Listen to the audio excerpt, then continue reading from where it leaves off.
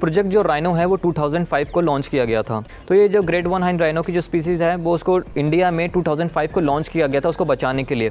और उसमें इनिशिएटिव लिया गया था कि 2020 तक उसकी जो पॉपुलेशन है, वो 3000 कर दिया जाएगा। तो आसाम में वो चीज़ स्टार्ट किया गया था सेवन प्रोटेक्टेड एरियाज़ के अंदर मिला के। तो एक टाइम पर आपकी जो ये स्पीशीज़ है, आपका ग्रेट हाइन वन राइनो इंडियन राइनो वो एक टाइम पर नेपाल, पाकिस्तान और भूटान के एरिया में घुमा करते थे। तो काजीरंगा नेशनल पार्क में इसको बनाया गया था। मेरी टू थर्ड पॉपुलेशन है आपकी, वो आसाम में मिलती है, आपकी इंडियन एरियाज़ में, ठीक है? तो जो आसान में है आपकी जो पूरे होल्ड करता है काजीरंगा नेशनल पार्क में, वो टू थर्ड आपकी खाली पूरे इंडिया के, आप भूटान, बांग्लादेश, हर जगह पे आपकी टू थर्ड पॉपुलेशन इंडिया में है, वो भी काजीरंगा नेशनल पार्क में।